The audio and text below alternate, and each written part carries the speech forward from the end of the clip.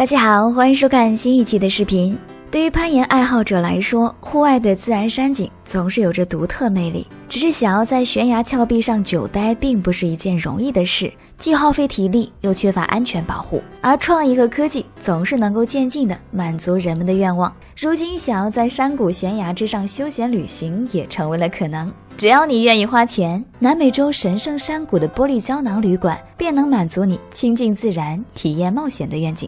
这个玻璃胶囊旅馆位于秘鲁境内，是自然天际酒店的创意客房设计，处在四百英尺的高空之上。想要入住这家酒店，除了需要支付每晚一千美元的高昂住宿费之外，还必须利用铁索或者登山小道爬到悬崖高处。虽然不需要太多的登山经验，付钱之后便会有专人护送，但是缺乏勇气或者恐高的朋友，还是不要轻易尝试为好。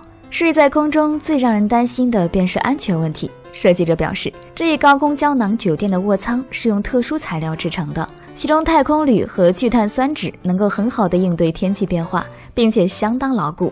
舱内的住宿设计也非常人性化，有四张大床、一个用餐区和一个折叠式卫生间，住下八个人完全没问题。同时，为了让山峰更好地进入到内部，每个卧房都设计了四根通风管以及六扇可开窗户，顶部还有紧急出口，用来防止意外。酒店会负责给旅客提供早晚餐，夜晚还有红酒相伴。无论是在白天俯瞰山林，还是在晚上摇着红酒杯欣赏夜景，都会是一种极佳的人生体验。如果有机会，你会愿意到这个悬崖玻璃胶囊酒店去挑战一下吗？